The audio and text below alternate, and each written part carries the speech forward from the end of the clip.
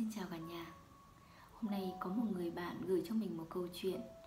Mình cũng chưa có đọc. Bây giờ mình sẽ đọc cho cả nhà cùng nghe nhé. Câu chuyện có tựa đề là Hãy chọn cách sống của nước. Người tâm linh thường có trái tim pha lê, Trong veo lấp lánh Bảy sắc cầu vồng, Nhìn thấu, Tuy rất đẹp và quý giá, Nhưng vô cùng nhạy cảm, Dễ nhìn thấu mọi việc nên rất dễ vỡ vụn và vô cùng khó hàn gắn.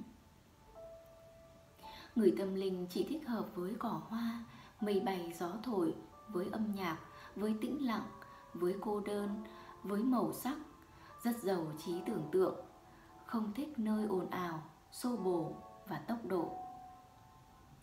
Người tâm linh rất hay tự trách mình và rộng lượng với người khác, càng tiếp xúc với người, cảm thấy mình bị tổn thương và cô đơn, nên rất thích một mình.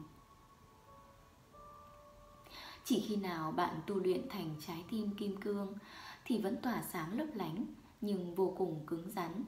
Để đạt được điều này thật khó, bạn phải học cách luôn sống trí tuệ với sức sống đầy ắp, có thể sẽ lâu lắm mới đạt được.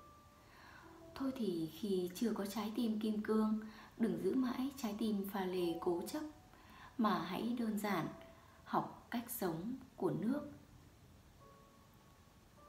Nước không có màu, không mùi, cũng chẳng có hình thù gì, nhưng nước lại có tất cả màu sắc huyễn hoặc hơn cả bảy sắc cầu vồng. Màu của nước rất thay đổi tùy góc nhìn của mỗi người.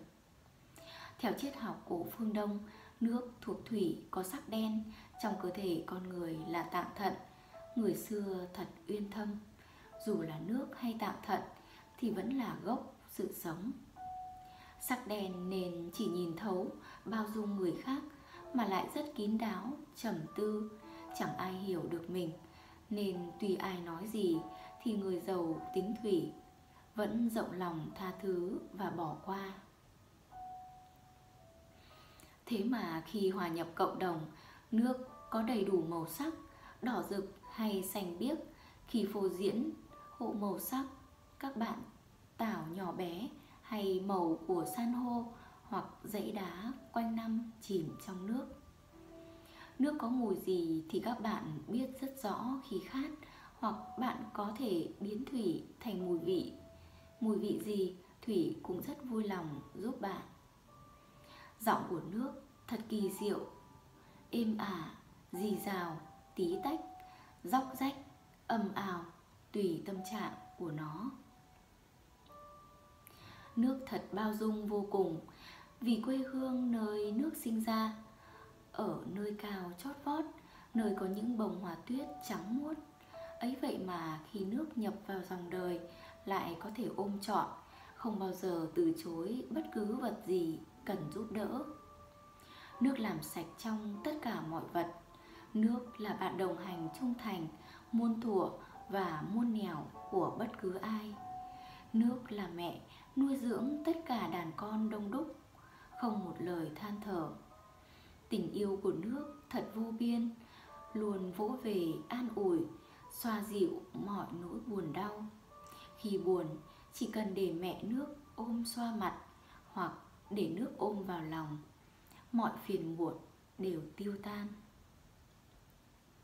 Nước thật giàu năng lượng và sẵn sàng ban tặng sức mạnh cho ai đó cần. Còn kỳ diệu hơn cả cây đèn thần của Aladdin. Đơn giản chỉ nhìn nước thôi cũng mãn nguyện rồi.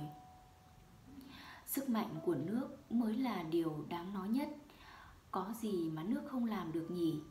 Muốn biết sức mạnh của nước hãy quan sát hành trình trưởng thành từ nơi nước sinh ra cho đến khi về với biển cả. Đơn độc một mình, từ giọt nhỏ li ti, thành dòng nước róc rách, đi qua khe hẹp chui qua đá, vượt qua gành.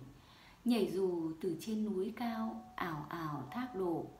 Dù có khi bị nhốt trong ao tù, nước chưa bao giờ nản chí, mà biến thành nơi vô hình đi tiếp đáng ngưỡng mộ vô cùng. Phải chăng nước được sinh ra từ mẹ đá trên đỉnh núi cao và hoa tuyết nên cứng rắn và trong trẻo kém gì kim cương, mà còn vượt qua cả kim cương?